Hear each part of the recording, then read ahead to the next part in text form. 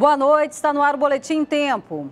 A polícia prendeu uma dupla suspeita de envolvimento com a facção criminosa PCC e que já matou pelo menos 10 pessoas aqui na capital. O mototaxista Felipe da Silva, de 22 anos, conhecido como Pedrinha, teve apoio desse adolescente de 17. Foi o menor que atirou contra a professora, segundo a polícia. Segundo a polícia, os dois confessaram em depoimento que a intenção era mesmo levar a bolsa da professora, mas como ela teria reagido, eles acabaram atirando e que também tentaram matar a amiga dela. A polícia teve o apoio da população. O delegado que investigava o caso ofereceu a quantia de mil reais para quem ajudasse com informações. Após o anúncio da recompensa, houve uma aceleração de modo assim surpreendente das informações até que nós chegamos à prisão desse indivíduo menor de idade, agora pela madrugada. A professora de geografia voltava da escola onde trabalhava no dia 5 de abril com a amiga dela quando foram abordadas pelos assaltantes. Felipe dos Santos foi levado para a cadeia pública e o menor para um centro de reabilitação.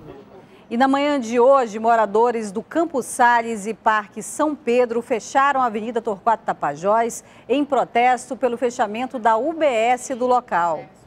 A manifestação foi por causa da divulgação do fechamento da unidade de pronto atendimento do Campos Sales, no Tarumã. A UPA é o único pronto-socorro que nós temos aqui para atender toda a zona centro-oeste, que, que compreende 38 comunidades. Se fechar, são pelo menos 50, 60 mil pessoas que vão ficar sem atendimento de serviços é, de pronto-socorro, de urgência e emergência. Pelo menos 50 moradores do Campos Sales fecharam a Torquato Tapajós no sentido bairro centro. Nós ficamos muito felizes quando abriu essa UPA e agora, de repente, sob esse aviso aí que vai fechar. E nós estamos protestando isso e estamos pedindo à autoridade do, da saúde aí para ver se faz alguma coisa, porque nós não vamos aceitar isso. Não pode fechar a UPA, cara. É um lugar que atende bem ali a gente. Olha, aí para fora tá muito pior, pois se fechar vai ficar pior para nós aqui também, entendeu? Motoristas passaram pelo canteiro central para fugir do trânsito. A UPA do Campos Sales atende também moradores das comunidades da Carbrais e Parque São Pedro, no Tarumã.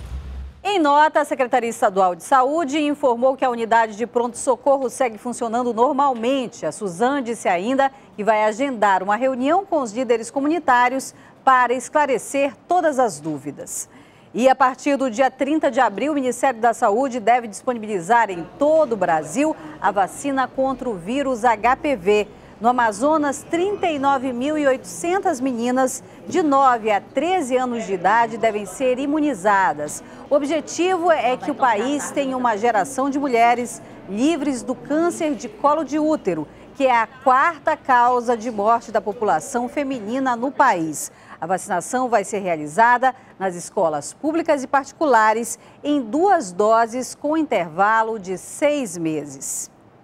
Confira agora os destaques de amanhã do Jornal Amazonas em tempo impresso, direto da redação, com o repórter Lindivan Vilaça. Boa noite, Marcela.